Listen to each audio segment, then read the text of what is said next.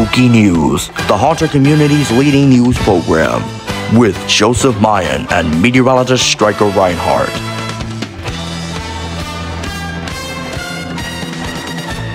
Party City is back with more killer props that they are still releasing for the 2024 season. They have released this new prop called Cthulhu. Now, I couldn't pronounce the name at first until just a few minutes ago, Cthulhu.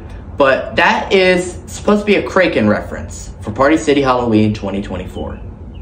It is June 1st. We have finally hit summertime in the Halloween community. But the big story on Spooky News tonight is Party City keeps releasing more and more new props. Now this one is called Cthulhu. Now a lot of people are saying that this is a Kraken reference, which I do have to agree with that. Because uh, Kraken's an octopus, and that looks exactly like Kraken. People have said they finally did it. They finally made a Kraken prop. But here's a demo, or a look, at the Cthulhu prop for Party City 2024.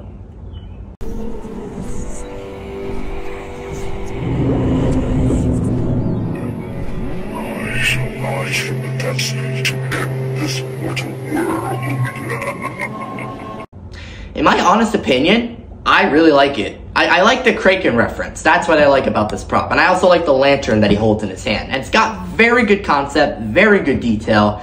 And Party City is going good this year. Now, it is June now. So now we are getting ready to see Spirit Halloween sneak peeks. Which I do want to mention, Halloween Haunter has bought a Spirit Halloween Plague Doctor doll, which has not been on the website yet. Don't know how he got it, but he must have pre-ordered it. So here's a clip of him unboxing that. You might know by now, I got the Spirit Halloween 2024 Plague Doctor in this box.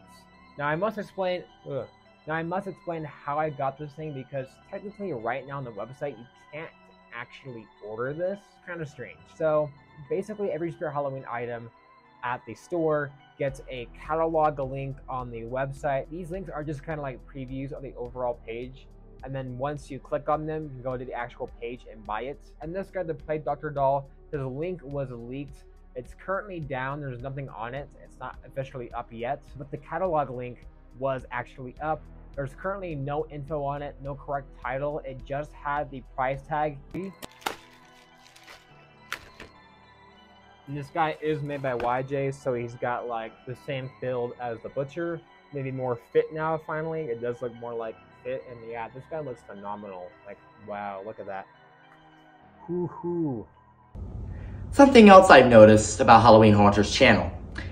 How is he gaining subscribers so fast? Like, he just had 20k about four weeks ago. He had 30k about two weeks ago, and now he's at 43k subscribers. Like, what's going on? Is the algorithm like messing around with him? Is he getting bots for subscribers? Is he, I, don't know what he's doing, but he's gaining subscribers fast. he's probably gonna end up like that Nate guy in a couple years, who knows?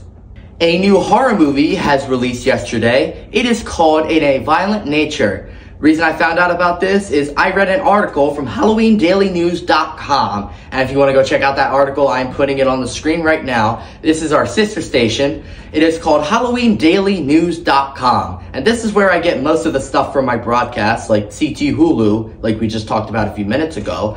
You can go watch, you can go watch In a Violent Nature in theaters now as of yesterday. But anyway, it's time for shoutouts.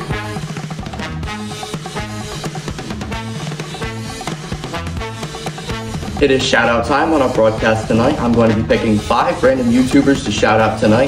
So here we go. Number five, Spirit Hallows. Number four, Morbid Haunter. Number three, Knott's Haunts. Number two, Turnation. And number one, Matthew Garcia. You all deserve the shout outs tonight, and thank you guys so much for subscribing to my channel and liking my content. But like I said before, if you would like to get shouted out on Spooky News, all you have to do is like, subscribe, and comment. Make sure to turn on the notifications so you know when we do another broadcast.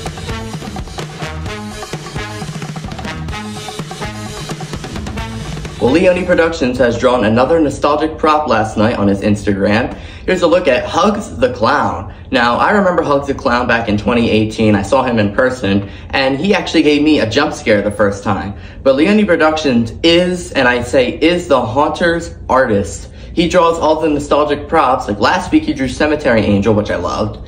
And I just hope I can see more nostalgic props drawn from that man, Leone Productions.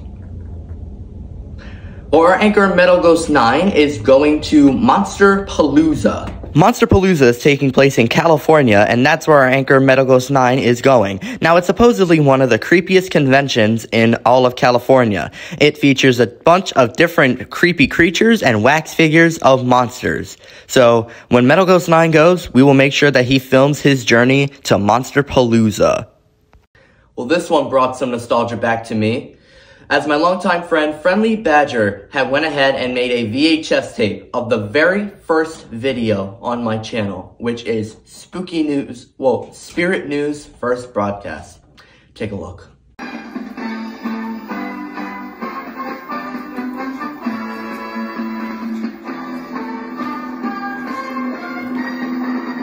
Hello there, and welcome to the very first broadcast of Spirit Halloween News, which is the news channel that will bring you info about new animatronic leaks, new theme leaks, and many more stuff to come during the seasons to come. But the big story tonight is the flagship grand opening that has happened today. Nearly 3,000 attendees came on this day. David's TV, Nate Guy, and all those other YouTubers showed up on this day. I got to interview so many people today, and I will now show you that. Here it is.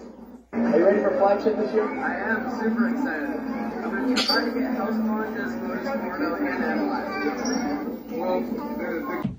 I absolutely love that, and I really love that it's on a VHS tape too. And I should mention that the one year anniversary of Spooky News is going to be on July 29th, because July 29th is when I started filming my first Spirit Spooky News broadcast, however you want to call it. But also, the next broadcast is going to be our 30th broadcast. So we're going to throw in some throwback stuff from this channel into our 30th broadcast. Now, I'm hoping this season we can reach 100 broadcasts in total. Let's just see how that goes. Also, I am doing my first 2024 interview. That is going to be the Vina experience or the Vona experience. I don't even know how you pronounce it, but I will be interviewing those guys June. I don't have a date yet, but I will be interviewing those guys later this month. And then in August, I will be doing the flagship Phantom for my second 2024 interview. And then after that, I can start planning more interviews for 2025. I should mention before I toss the weather to Striker that I am receiving a mystery package from Friendly Badger. He is not telling me what it is yet, but this is going to be sent to me after the first episode of the Forgotten series, I want to say, because I did tease this a little bit. No More Paradise. Now, that was the series that I was going to be in, and I was anchoring a new show in there. Well, for acting. But after that first episode comes out, I'm going to be getting a package, and yes, I will be doing an unboxing. So, prepare for that. Also, I am doing my first 2024 interview. That is going to be the Vina experience or the Vona experience. I don't even know how you pronounce it, but I will be interviewing those guys June. I don't have a date yet, but I will be interviewing those guys later this month. And then in August, I will be doing the flagship Phantom for my second 2024 interview. And then after that, I can start planning more interviews for 2025.